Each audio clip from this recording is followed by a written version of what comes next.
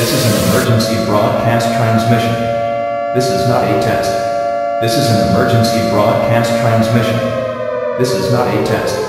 Please remain calm. Seek shelter immediately. The following areas are being evacuated. Cambridgeshire,